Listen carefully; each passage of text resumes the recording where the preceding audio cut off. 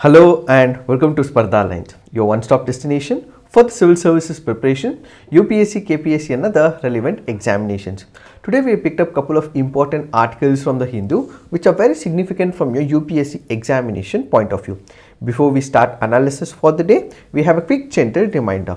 Spardha Lines is conducting the test series and this test series is very important for the CTI PDO as well as the KAS exams and it is scheduled to be conducted from 26th of this month and will end on 17th of December. This will include current affairs from Jan to December 2023, mental ability, economic survey, budget of 2023-24 and government schemes and this test series mind you is free of cost for the first four test series that we will be conducting. So this will be curated by experts from the team Spardha Lines and all that you have to do is take up this exam so that you understand what are the type of questions that can be anticipated from these kind of examinations. Let's get started. I'll look into the first article. The first article says need for climate smart agriculture in India. What is this article speaking about? The article here is speaking about the concept of climate smart agriculture. Before we understand this concept of smart climate smart agriculture, we have to understand why we are discussing about this concept. That is because of couple of issues that are lined up. One is on the environmental front, the other is on the economic front. What is happening on the environmental front? On the environmental front, what we are witnessing is the climate change manifestations that are taking place. This climate change issues is further aggravating number of issues and that has an economic bearing. For example, there is emission of the greenhouse gases. As and when we have emissions of the greenhouse gases, this will have significant impact on the natural environment that we are living in. So what we have is a toxic environment what we have is ramifications on the climate change related factor where there is increase of the global warming and as a result what we will have is economic factors which will be exasperated and at the same time what we will also have is health related aspect. So because there are environmental changes that we are witnessing this will have impediments to the health related issues as well as to the economic front. When we say economic front, there are two issues that we have to consider. One is drop in the economic activity. Second, it has a direct bearing on the agriculture. How does it have a direct bearing on the agriculture? Let's say for example, the amount of yield or the quantity of yield that can be expected that can be expected from a piece of plot will decrease because of the climate change factors. So this article goes on to say that we have seen heat waves in couple of parts of the world. We've also seen droughts present in different parts of the world all the heat waves droughts less rainfall will significantly impact the agriculture sector so in order to give a boost to the agriculture despite the existence of the climate change factors what we can introduce is the climate smart agriculture so what is this climate smart agriculture? Because of the climate change related factors, contributing on the fall of the yield in the agriculture to further give a boost to the yield because of the climate change factors what we require is called as the climate smart agriculture. So what is this climate smart agriculture? The Food and Agriculture Organization said in 2019, climate smart agriculture is an approach for transforming food and agriculture systems to support sustainable development and safeguard food security under the climate change. So we have climate change attributes that are taking place, increase of the greenhouse gases, increase of the green warming potential as well and as a result there is toxic air that is prevalent in most part of the world and at the same time what we also have is increasing temperature. When there is increase in temperature this can have major ramifications. To control it what we have is the climate smart agriculture. So what does climate smart agriculture do? Transform the food and the agricultural system so that what we have is sustainable development along with safeguarding the food security. This basically has three pillars. What are those three pillars? One is about productivity. Sustainably increasing food security and supporting the rural livelihood. That happens to be the first pillar. The second pillar is adapt and build resilience to climate change. So strengthen resilience of agriculture and food systems to climate changes and variability.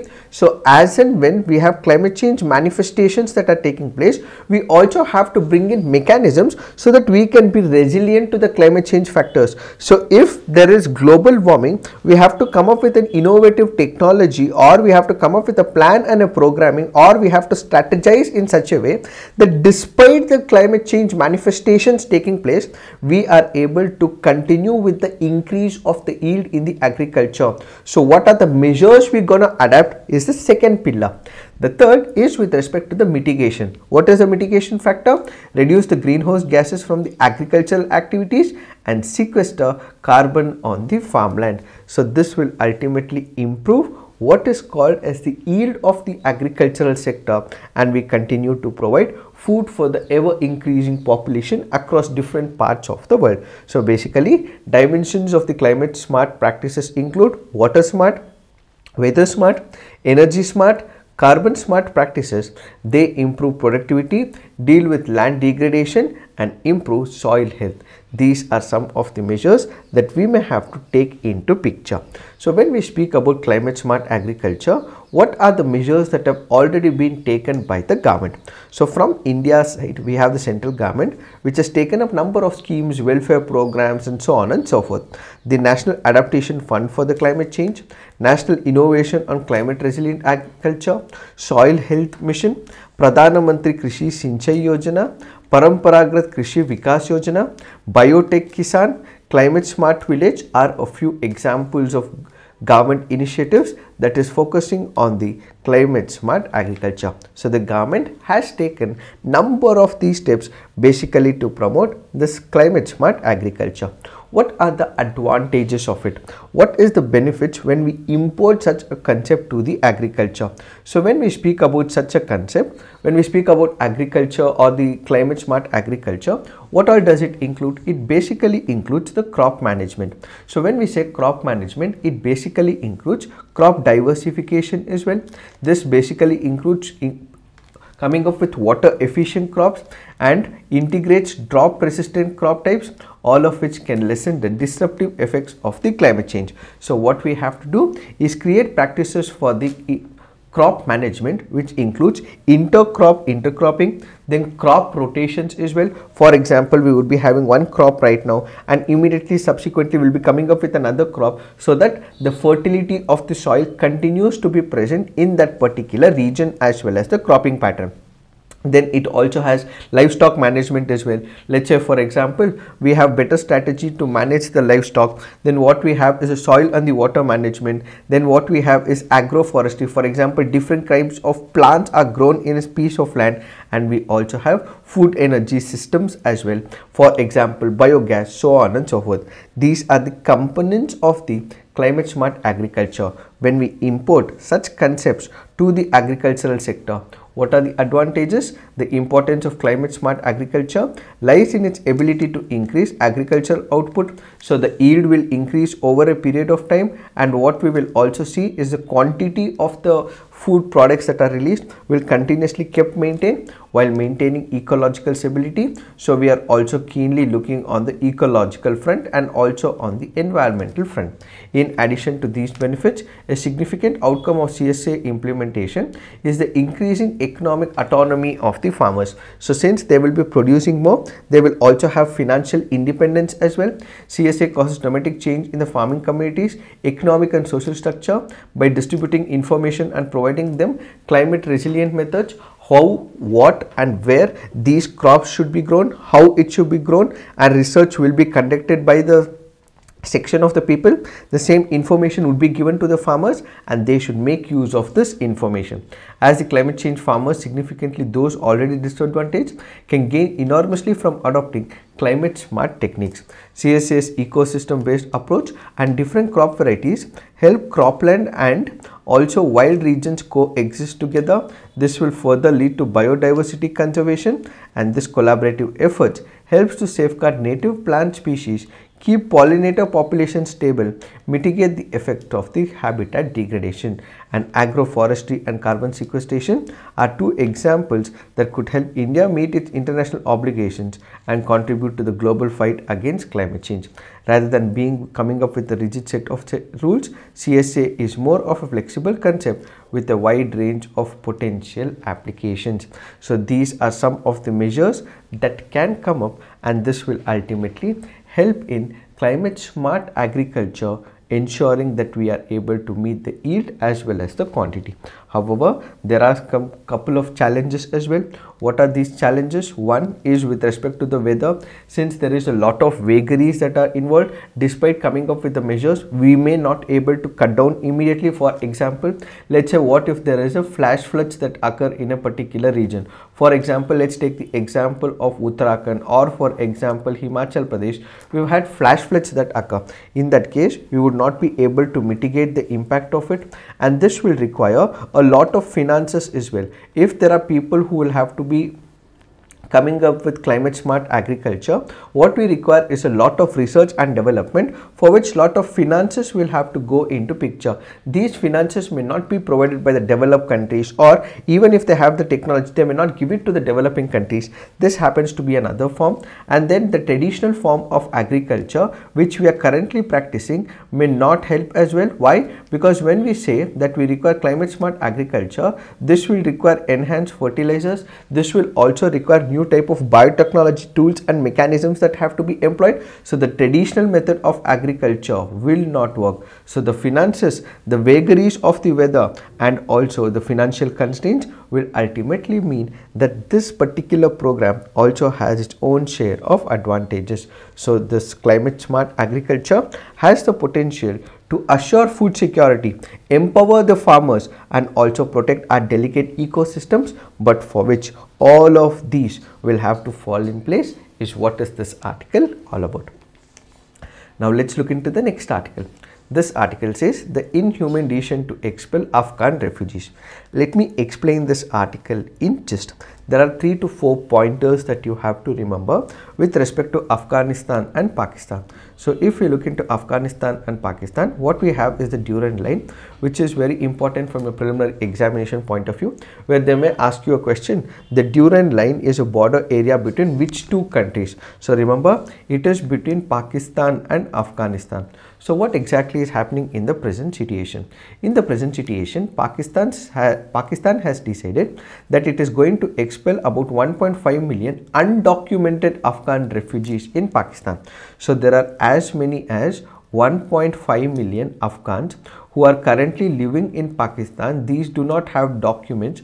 They are living in Pakistan and now because they do not have the documents, because they do not have the citizenship, these happen to be the citizens of Afghanistan.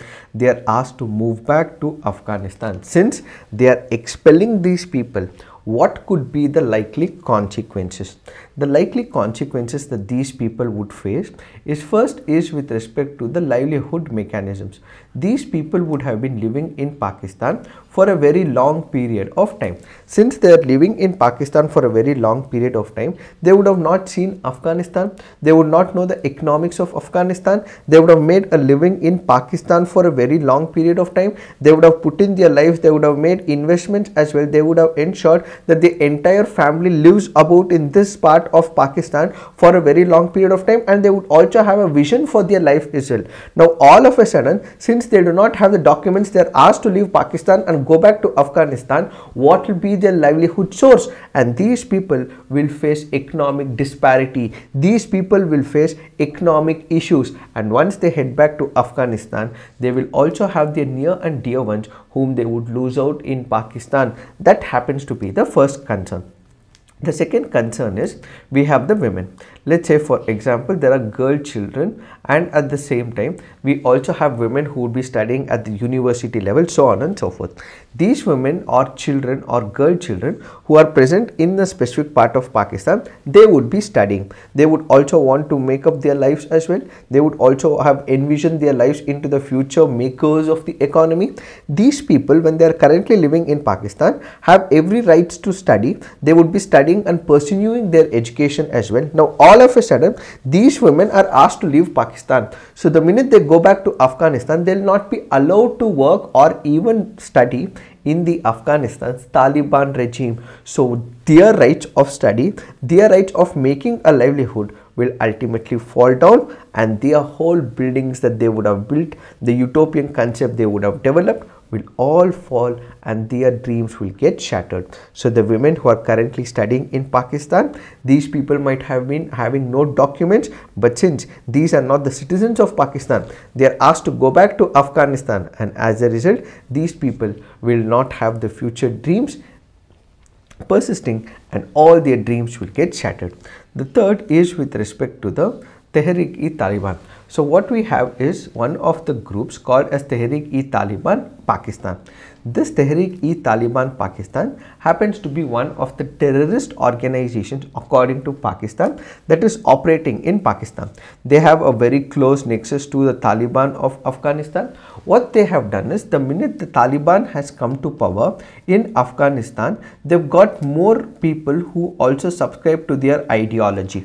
Since they have more people who subscribe to their ideology, the Tehrik-e-Taliban have created more number of terrorist attacks in Pakistan so what they also attribute is ever since Taliban took over the power in Afghanistan, you had these section of the people that is Tehrik-e-Taliban who became far more excessive in nature. They have been conducting fundamentalism. They been become very radicalized as well. More people are following their ideology and these are the people who are creating human right violations, ruckus and also terrorist activities in Pakistan. So more number of people have lost their lives because of the terrorist activities that Tehrik-e-Taliban has perpetuated in Pakistan. So what is the major issue? If there are these people who are living in Pakistan right now have associations with Tehrik-e-Taliban have also been pushed back to Afghanistan. So they are also giving a message to Taliban that if Tehrik-e-Taliban is allowed to operate in Pakistan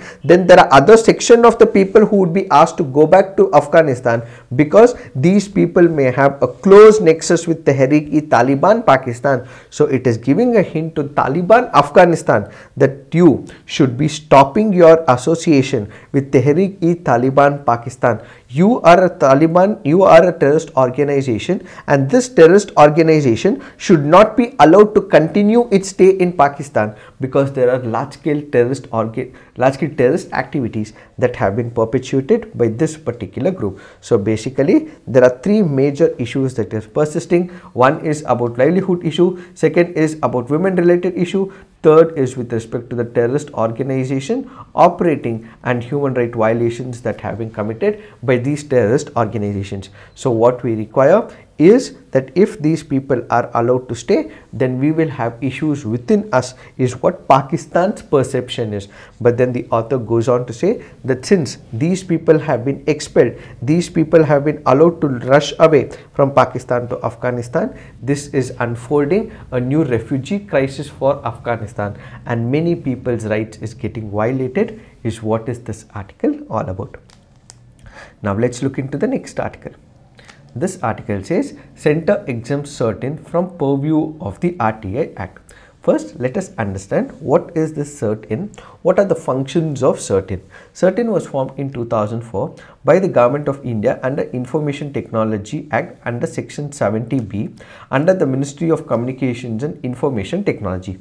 CERT-In has overlapping responsibilities with other agencies such as National Critical Information Infrastructure Protecting Center which is under National Technical Research Organization that comes under the Prime Minister's Office and the National Disaster Management Authority which is under the Ministry of Home Affairs. So what are the functions of the CERT-In that has been given by the Ministry of Electronics? So according to the functions that have been associated, the central government shall provide agency with a Director General and such other officers and employees as may be prescribed the salary and allowances in terms of conditions are will be prescribed by the government. What are the functions that are given? Collection, analysis and dissemination of information on cyber incidents. Let's say for example, there has been an attack on the critical infrastructure of the country. There might have been a loophole or a bug in a software or in system design such that there might have been an hacking attempt that might have been undertaken on the critical infrastructure of the country.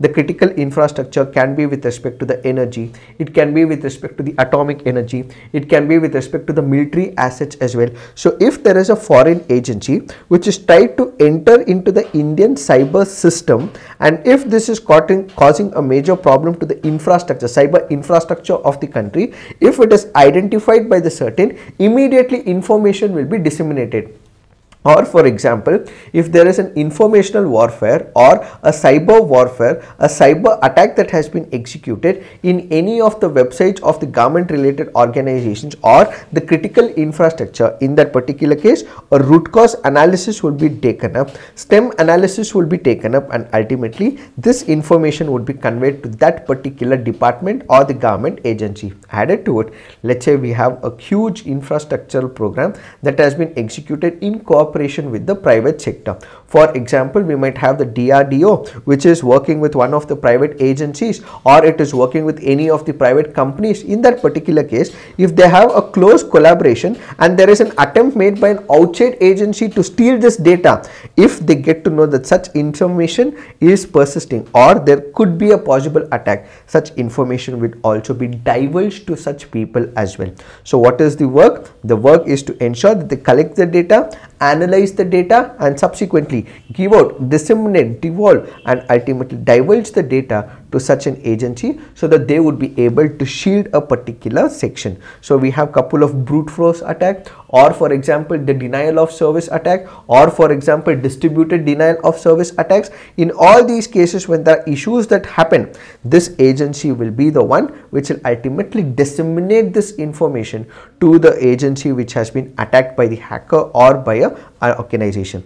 This will take measures for handling cybersecurity incidents. So once there has been an hacking attempt, what should be the likely consequences? So the likely consequences could be the damage to the system or there could be information which could be stolen as well. So what are the measures that we may have to put? Let's say for example, if there is a bot, what is a bot? It is an automatically created code. So for example, if there is a bot that enters a particular cyber forum, what will happen? It will automatically start replicating itself. So this bot continues to take a particular course of action. So if a bot continues to take a particular course of action on the server of a company, what are the measures that should be taken? For example, we are creating a shield or we are coming up with a new uh, cyber layer of it. These are the measures that will be taken. So forecasting and alert of the cyber security incident. So i know for the fact that there is a cyber issue that is taking place.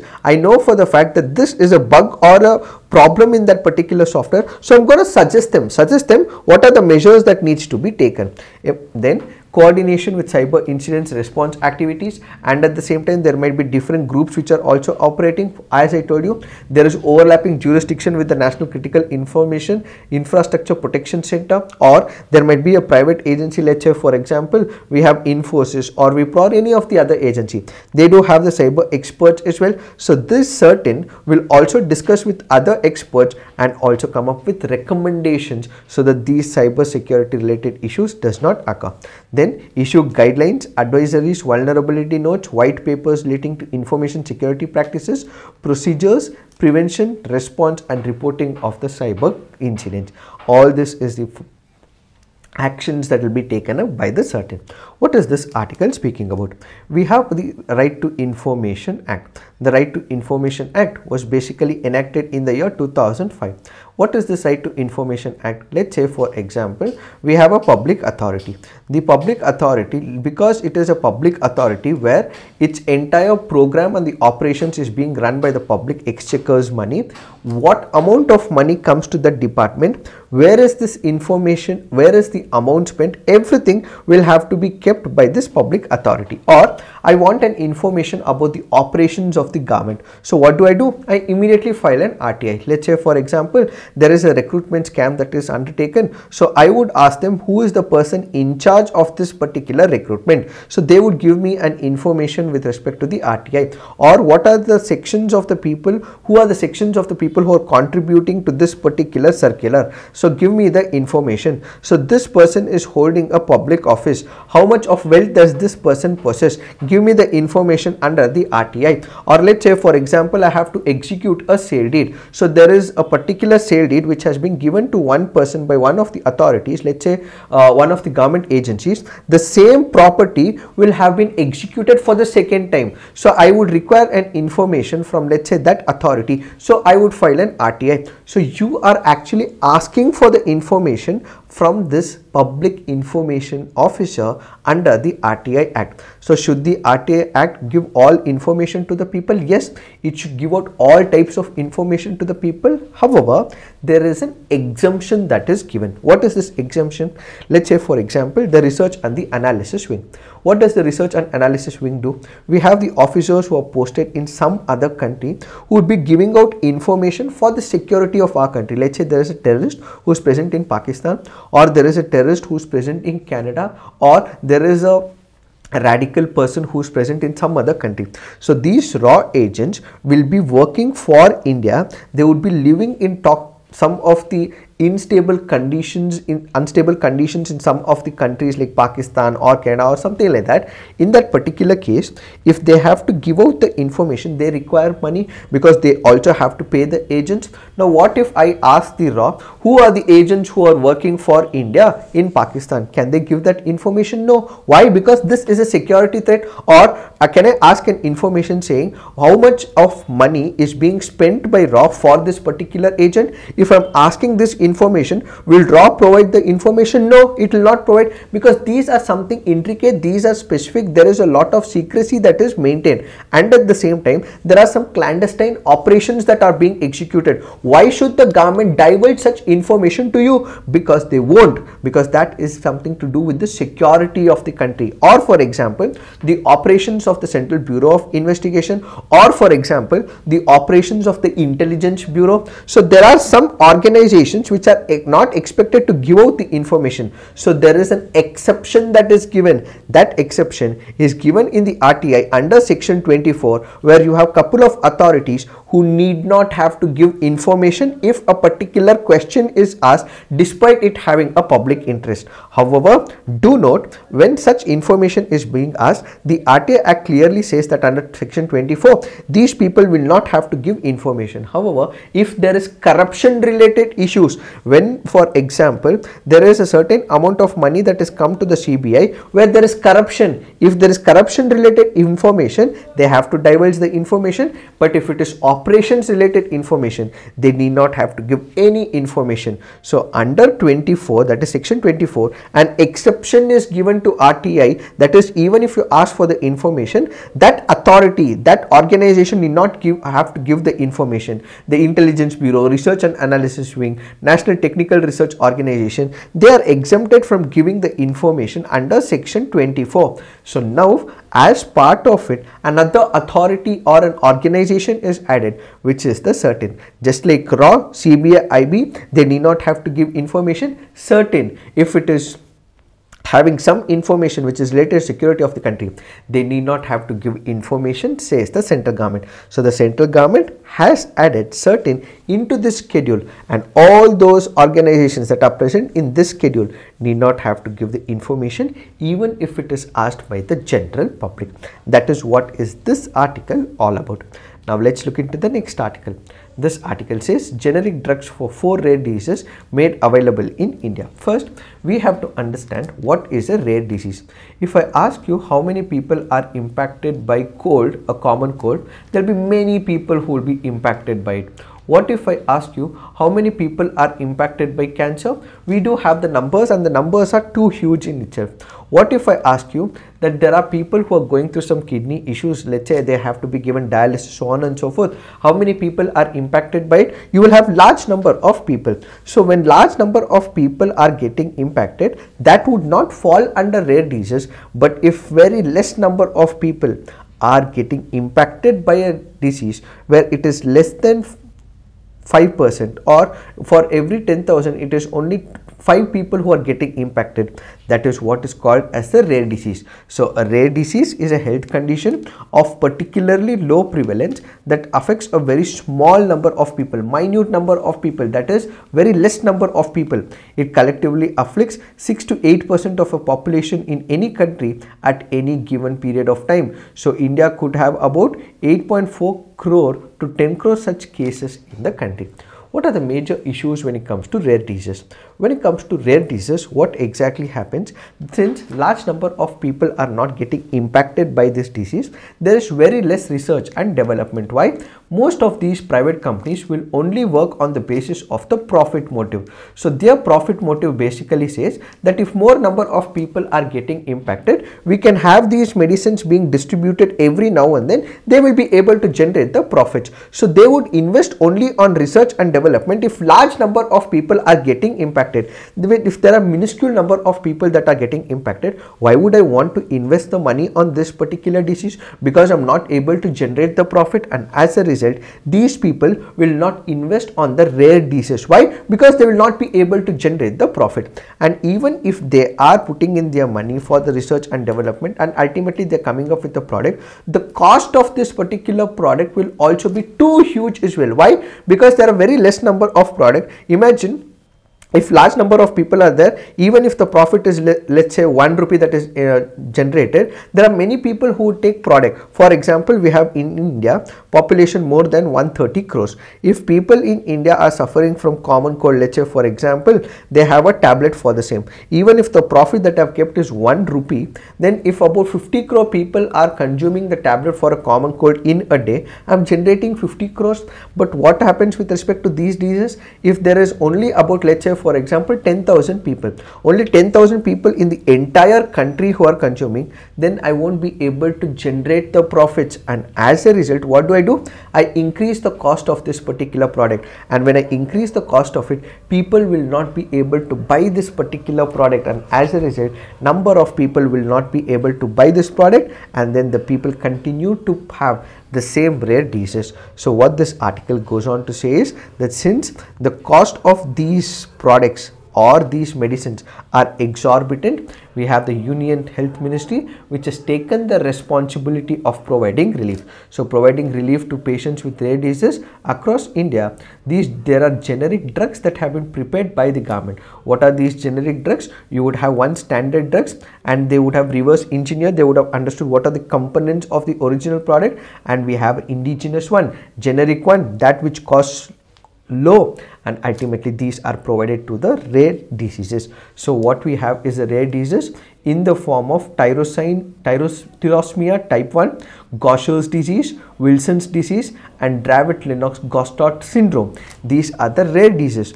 For all these, what we have is the generic drugs that have been given by the government of India. So the cost of it has been reduced and now they would be able to afford it. So the ministry is also in the process of making available drugs for other rare diseases like phenylketonuria as well as hyperammonemia.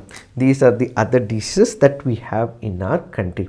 So what the government is able to do is reduce the cost of it by coming up with the generic drugs for the same is what is this article all about. And do note we have mention of all these rare diseases. What I want you to do as part of the assignment is take up and read about these diseases. So in case there is a question that people ask you or the examination authorities ask you, what is the Wilson's disease? What are the symptoms of the Wilson's disease? What are the likely consequences of it? You should be able to understand it. So it is part of your assignment, read about these diseases. Now let's look into the next article. This article here is speaking about what is called as GPS spoofing.